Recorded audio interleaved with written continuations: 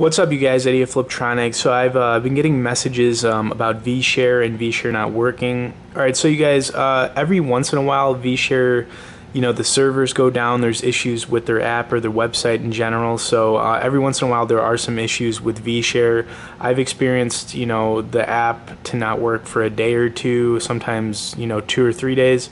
Um, but for the last two to three years, you guys, it's been you know one of the most reputable sites for getting free paid apps on iOS. So you sometimes have to be patient with it, but then again, there's um you know there's another issue that I've seen uh, in the fix forward is pretty much um you know it's not that the vShare you know app or site is down. It's just that you're not able to install apps for whatever reason.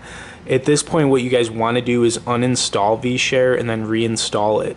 I've had a lot of success with this. So, um, you know, if the app's not installing any uh, new paid apps for you, just uninstall it and then head back over to vshare.com and then reinstall the app and then, you know, start installing, uh, you know, paid games again.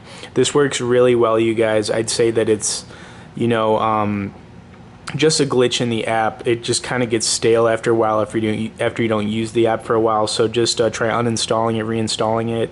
And if that's not the issue, guys, it might just be that uh, VShare is having some issues. It's down for a little bit, which is a pretty common thing for it to happen. There's a lot of people using it. So, anyways, you guys, thanks for watching this video. Hope it helped you out. Um, feel free to comment below. Stay tuned for more, and be sure to subscribe to our channel.